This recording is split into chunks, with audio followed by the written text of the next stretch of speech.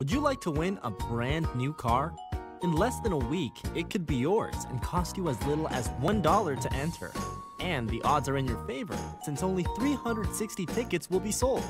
Here's how it works 1. Go to www.raise.it forward slash TTI car raffle and enter your information. 2. Request your computer generated random number between 1 and 360.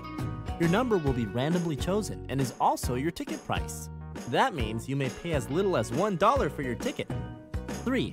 If your number is drawn, you will be the winner of a brand new car valued up to $20,000. The drawing will take place on December 16th at the TTI 15th Annual Scholarship Gala. So go to www.raise.it forward slash TTI car raffle right now to get your ticket before they are all gone.